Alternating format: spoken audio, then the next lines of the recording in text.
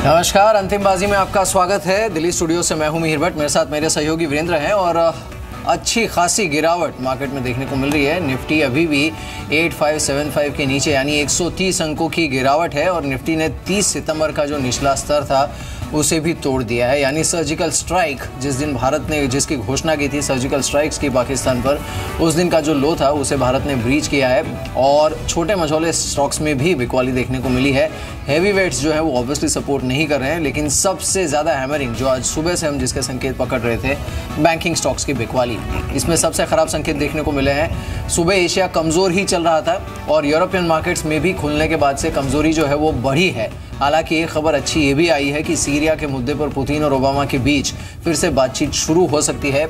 एक समय ऐसा आया था जब यूएस और रशिया के बीच में इसे लेकर काफ़ी तनाव बढ़ गया था, लेकिन वो थोड़ा सा डी होने के संकेत इस समय है। इसके बावजूद ग्लोबल मार्केट्स और साथ साथ इंडियन मार्केट्स इस पर अच्छी खासी पिटाई आज जम निफ्टी बैंक ऑलमोस्ट इस वक्त दिन के सबसे निचले स्तरों पर कारोबार कर रहा है। मार्केट्स में हल्की रिकवरी है, लेकिन शायद अभी काफ़ी समय है। ये बात कहने से पहले कि मार्केट्स ने रिकवरी दिखाई, लेकिन एग्जैक्टली आज सुबह से हुआ क्या? कारण क्या था? बाज़ार एक का एक मुनाफा वसूली की चपेट में क्यों आ गया? क्यों 87 क्यों 86 80 की रेंज को निफ्टी ने वॉलेट किया? क्यों बैंक निफ्टी ने आज उन्नीस दो को वॉलेट किया? क्यों क्रिटिकल एवरेजेस वॉलेट हुए? चलते हैं सीधे संदीप के पास, और ये वजह जानने की कोशिश करते हैं। संदीप एग्जैक्टली बहुत सारे आई थिंक न्यूज़ पोस्ट थे, और आई मीन इवेंट्स थे, और chain of I mean events थे जिन्होंने बाज़ार को नीचे रखा। बिल्कुल, घरेलू और विदेशी दोनों फैक्टर थे जिसकी वजह से कमज़ोर ओपनिंग हुई और उसके बाद देखिए लगातार हम स्लाइड करते रहे दिन के दौरान। इनफैक्ट अगर आप घरेलू फैक्टर्स की बात करें तो पी नोट्स पर डिटेल मांगी गई है एसआईटी की ओर से। ऐसे सूत्रों के हवाले से खबर निकल के सामने आई है। काले धन की पड़ताल के लिए सरकार की ओर से ये एसआईटी बनाई गई थी। और अब काला धन इंडियन का जो काला धन है, वो पी नोट्स के ज़रिए इंडियन मार्केट्स में आया है। ऐसा संदेह है एसआईटी को, जिस वजह से ना केवल शेयर मार्केट बल्कि डेट मार्केट के डिटेल्स भी एसआईटी की ओर से मांगे गए हैं। और आपको बता दें, बड़ा निवेश दरअसल पी नोट्स के ज़रिए इंडियन मार्केट्स में आता है। अगर आप अब तक देखें तो करीब दो लाख करोड़ रुपये के आसपास का निवेश पी नोट्स के ज़रिए इंडियन मार्केट्स में आया, जो कि टोटल जो एफ़ निवेश है उसका करीब साढ़े आठ फ़ीसदी के आसपास का हिस्सा है। तो ज़ाहिर सी बात है इससे एफ़ के बीच में अगर आप देखें थोड़ा सा जो पैनिक है वो ज़रूर देखने को मिला है। सोमवार को अगर, अगर आपको याद हो तो एफ़ की ओर से बड़ी बिकवाली का फिगर निकल के सामने आया। तो अब ये जो खबरें निकल के सामने आ रही है ज़ाहिर सी बात है इससे एफ़ की ओर से थोड़ी सी जो एक घबराहट है वो साफ़ तौर पर देखने को मिल जिसकी वजह से आप देखिए बाज़ार में अब भी गिरावट काफ़ी बड़ी देखने को मिल रही है। ग्लोबल फैक्टर्स की जहाँ तक बात है अच्छी खबर ज़रूर आई है कि दोबारा डायलॉग शुरू हुए हैं यूएस और रशिया के बीच में। लेकिन जिस तरह से तनाव बढ़ रहा था खासतौर पर सीरिया को लेकर अगर आप यूक्रेन की बात करें ओबामा और साथ ही साथ पुतिन के बीच में जो बातचीत है, वो टूट गई थी। ऐसी खबरें हैं बाज़ार में, जिसकी वजह से न केवल इंडियन मार्केट एशियन मार्केट आज जो यूरोपियन मार्केट की शुरुआत हुई, वो भी काफ़ी कमज़ोर देखने को मिली। माना जा रहा है कि वेस्टर्न बॉर्डर्स पर रशिया के कुछ जो ट्रूप्स हैं, या तो फिर जो मिसाइल्स हैं, वो भी डिप्लॉय की गए हैं रशिया की ओर से।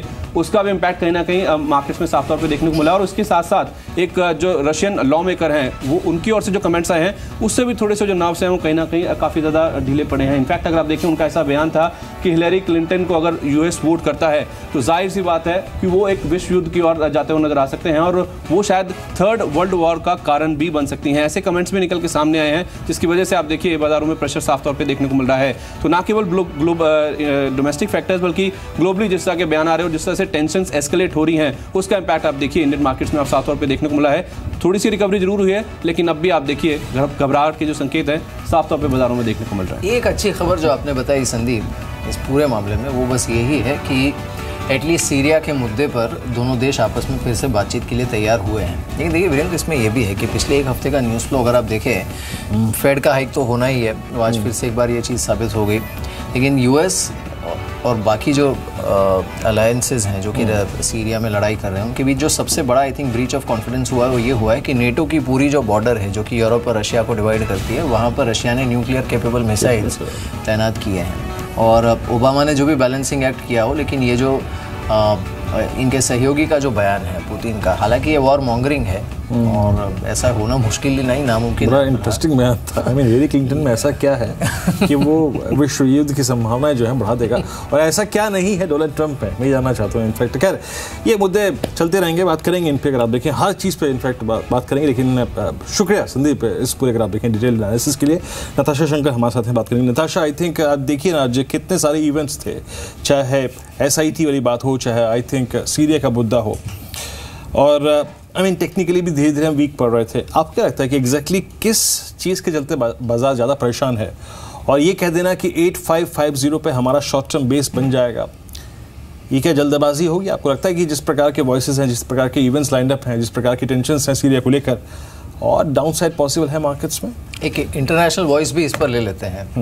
हमारे साथ डॉक्टर एनजीओ जुड़े हैं उनसे बात करते हैं। Doctor NGO thanks for joining us and you know it's a pleasure having you on a day like this So, uh, are we at war? Is there going to be a third world war? The statements coming from Russia almost indicate that if uh, Mr. Trump doesn't come to power, then there is a serious possibility of a World War III. And then, uh, in fact, the positive news that we just picked up is that the, the talks between US and Russia are going to restart as far as Syria is concerned. But there is plenty of nervousness globally right now. No. What's your take on the situation? It's just all bluster Putin is a chess player and a roulette player. He, he plays more roulette than chess anyway.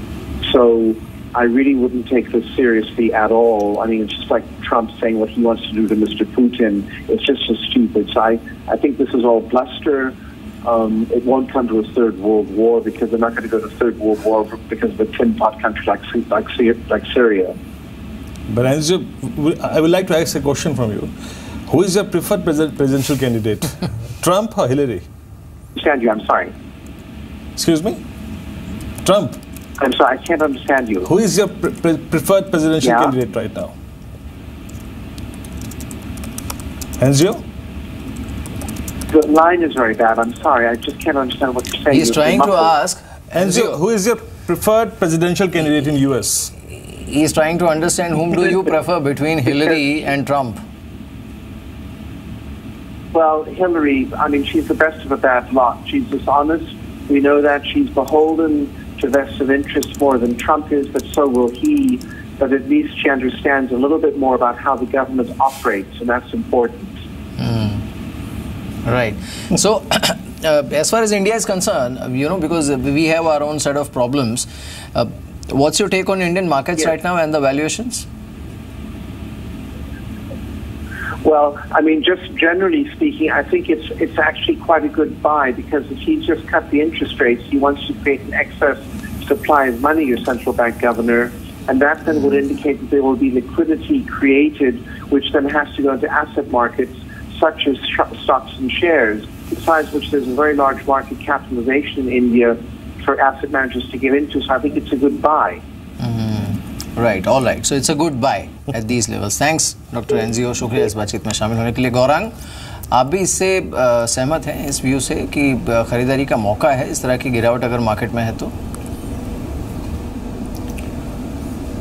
शुक्रिया मीर और good afternoon well अगर हम 8,700 के इर्द गिर्द कवायद करते थे निवेश के नज़रिए से चुनिंदा क्षेत्रों और स्टॉक्स में निवेश करने के लिए तो 8,550 या 8,560 के आसपास जहाँ पर निफ्टी काम कर रहा है।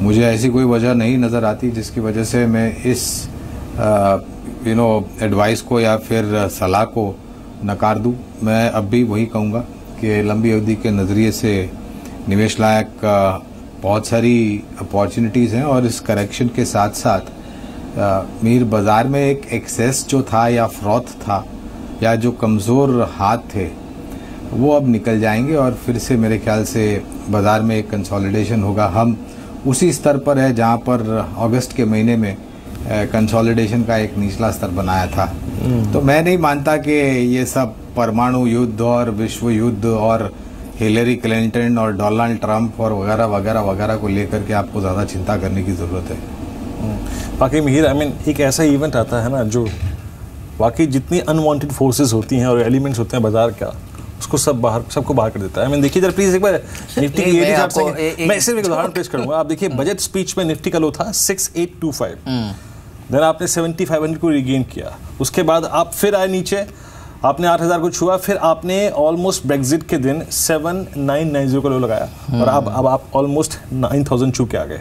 तो माइट भी शायद ये एक टाइमली ऐसा इवेंट आया है जो कि डिफरेंट एलिमेंट्स को अनवांटेड एलिमेंट्स को बाज़ार से बाहर निकाल रहा है। कह सकते हैं वो कहा जा सकता है वीक वीक हैंड्स जो होते हैं कई बार जिसे कहते हैं ना बाज़ार थप्पड़ मार के बाहर निकालता है। सफ़ाई प्रोसेस सफ़ाई का प्रोसेस लेकिन मैं सोच रहा था कि देखिए इस तरह के मार्केट में होता क्या है कि एवरीबडी स्टार्ट बिलीविंग जो भी वो सुनते हैं। अब जैसे ये अभी संदीप जो बता रहे थे कि न्यूक्लियर वॉर या फिर थर्ड वर्ल्ड वॉर मतलब it's not even a distinct possibility फिर और एक अभी फ्लोट हो रहा था मार्केट में खबरें इस तरह की थी कि रशिया ने कोई nuclear capable missile test fire किया है।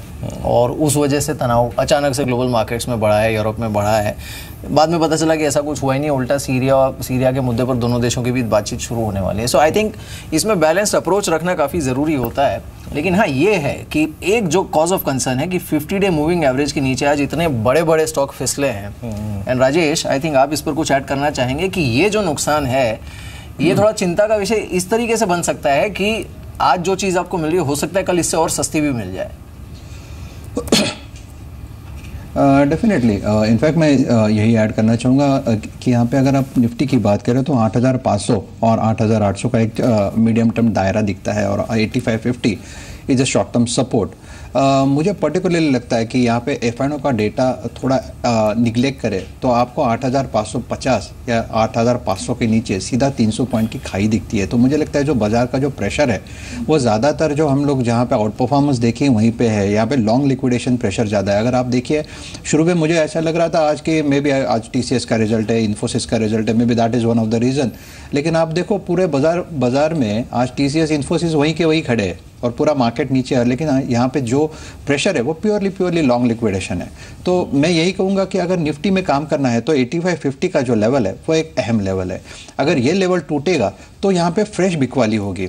और वो जो बिकवाली होगी और उसके लिए जो टारगेट रहेगा वो रफली 300 पॉइंट्स डाउन साइड होगा। और इन दैट केस आपको जो स्टॉप लॉस मेंटेन करना पड़ेगा वो है 8600 का सो so ये पकड़ के चलिए कि this is a running correction कि जहाँ पे प्रेशर आएगा। लेकिन एक बात हमें ये भी पकड़ना पड़ेगा मेहर कि हमने जो रैली देखी है देखिए कहीं ना कहीं छः हज़ार आठ सौ और सात हज़ार आपको याद है जो जो स्टीप करेक्शन था उसके बाद दो हज़ार पॉइंट निफ्टी में वन वे रैली है। और ये इतना जो रनअप है वो कहीं ना कहीं करेक्शन में अगर आता है तो definitely that will be healthy correction for the market क्योंकि वैल्यूएशन बहुत बहुत हाई है, बहुत महँगे हो चुके हैं स्टॉक्स अगर आप बॉटम बॉटम से पकड़ो तो। तो अगर ये करेक्शन मिलता है then that will be healthy correction at least for the technical point of view क्योंकि कहीं ना कहीं एक इंटरमीडिएट करेक्शन मिलेगा, तभी जाके हम लोग भी नए कॉल्स जनरेट कर पाएँगे। इस बीच जरा एक बार आप निफ्टी को देखिए। निफ्टी ने याद रखिए मैं कुछ अपडेट दूँ। सर्जिकल स्ट्राइक के डे लो को वॉलेट किया था आज, और इस वक्त निफ्टी बैंक अब धीरे धीरे और नीचे खिसकता हुआ। Nifty bank almost day low पर, अब पाँच सौ अंक नीचे, अट्ठारह, आठ सौ अठहत्तर के स्तर पर रिविजिट करता हुआ। एक पुल बैक आया था, लेकिन फिर अगर आप देखें रिविजिट करता हुआ। नताशा आपकी राय क्या है? मीन आपने गौरांग को सुना अभी कुछ देर पहले। अभी आपने राजेश को सुना, एक टेक्निकल सेंस उन्होंने भी शेयर किया। आपको क्या लगता है? मीन चांसेस है 85 50 को भी सीरियसली एक बड़े फ्रैक्शन से वॉलेट करने के इन वॉइस के बीच में और इन आई थिंक सर्कमस्टेंसेज के बीच में? इस समय ग्लोबल इवेंट्स जो हैं, वो फोर फ्रंट में आ गए हैं क्योंकि अभी डोमेस्टिक मार्केट्स जो हैं, उनका कोई, उनमें कोई मेजर ट्रिगर नहीं है अदर देन द अर्निंग्स इसकी वजह से जो मूवमेंट आएगा, वो काफ़ी हद तक स्टॉक स्पेसिफिक मूवमेंट रहना चाहिए। बट हैविंग सेड दैट ये जो करेक्शंस हैं, जो कि ग्लोबल मैक्रो इवेंट्स की से ड्रिवन है, ये एक मतलब I don't really comment whether they're rumors or not, uh, but they are actually giving a very good opportunity for long-term investors to buy into the markets. Uh, valuations, हाँ अगर आप near term के हिसाब से देखिए तो थोड़े से एक्सपेंसिव लगते हैं लेकिन अगर आप लॉन्ग टर्म के परस्पेक्टिव से देखिए एफ़ आई एटीन के परस्पेक्टिव से देखिए तो अगर आप पंद्रह से सोलह परसेंट ग्रोथ भी एस्टिमेट करिए एफ़ आई एटीन के लिए तो ये वैल्यूएशन उतनी ज़्यादा एक्सपेंसिव नहीं है at fifteen to sixteen times F Y eighteen earnings markets are still quite attractive in terms of valuation where would you buy इस गिरावट में Natasha I don't want to call the markets. I would buy at every level. चलिए इस बीच अब, अब थोड़ा सा देखिए जिस चीज़ को लेके हमें बड़ा एक इंटरेस्टिंग फैक्ट है जिस चीज़ को लेके हम बीते तीन महीने से सबसे ज़्यादा परेशान थे यार इन्फोसिस क्यों गिर रहा है या टी क्यों गिर रहा है एक्सेल टेक्नोलॉजीज़ क्यों गिर रहा है अगर आप देखें इन्होंने अपने अपनी अर्निंग्स डाउनग्रेड किए कि भैया नहीं, इतना रेवेन्यू नहीं बढ़ पाएगा, अब अब साढ़े दस परसेंट बढ़ेगा, अब साढ़े नौ परसेंट बढ़ेगा। लेकिन जिस दिन बाज़ार सबसे ज़्यादा कमज़ोर है, यही स्टॉक्स स्ट्रेंथ दिखा रहे हैं। अब करीब करीब आप देखिए ना, आपकी स्क्रीन पर आप देखें। इन्फोसिस हज़ार तिरपन पे टेक्निकली आप इसको क्या कहेंगे? आई मीन अभी नंबर आने में 24 घंटे का वक्त है, राजेश। बट टेक्निकली इस प्राइस बिहेवियर को आप क्या कहते हैं? बॉटम अब आप ये कहना सही है कि 1010 के प्राइस पर 1009 के प्राइस पर इसने अपना बॉटम क्रिएट कर लिया है बॉटम बना लिया है? Yes this actually that was a perfect contra level हज़ार के आसपास में. Uh, हज़ार के आसपास से एक तो फ़र्स्ट ऑफ़ ऑल हम इसे कॉन्ट्रा बाय कहेंगे. टेक्निकली कंप्लीटली वोर सोल्ड है यहाँ पे निगेटिव डिस्काउंटेड है प्राइस इन है फैक्टर्ड इन है देखिए मुझे लगता है कल अगर बाज़ार में दो चीज़ें हैं, अगर इन्फोसिस का रिज़ल्ट खराब आता है तो मे बी प्रोबेबली यही होगा कि हज़ार का लेवल एक बार रिटेस्ट करे। अगर नहीं आता तो एक, जो डिसअपॉइंटिंग जो पूरा माहौल बना हुआ है तो आप सोचिए इन्फोसिस में क्या होगा। मुझे लगता है कि इन्फोसिस में एक कॉन्ट्रा बाइंग हो रहा है। आप विप्रो देखिए। विप्रो में विप्रो जो आप इंडो पार्क जो टेंशन था, वो टाइम पे भी विप्रो 78 पे मिल रहा था, यानी 478 के आसपास था। आज भी वहीं पे है। तो आप टीसीएस देखिए विप्रो इन्फोसिस ये जो बड़े पैक है, वो वहीं पे है। तो मुझे लगता है कि वो एक बाज़ार को एक कॉन्ट्रा यानी कॉन्ट्रा जो मैं सोच रहा हूँ, मुझे लगता है उसमें सब कॉन्ट्रा बाइंग आ रही है। मे बी इन्फोसिस का रिज़ल्ट बहुत ही पथेटिक आया तो मे बी उसमें एक बहुत बड़ा गैप डाउन देखेगा, एक नीजर रिएक्शन दिखेगा। लेकिन उसके बाद क्या? तो मुझे लगता है उसके बाद जो मंदोड़ है, जो जो बैर्स है, वो शॉर्ट कवर करने को ही भागेंगे। तो मुझे लगता है इन्फोसिस में एक कॉन्ट्रा बाइंग अपॉर्चुनिटी डेफिनेटली बनती है।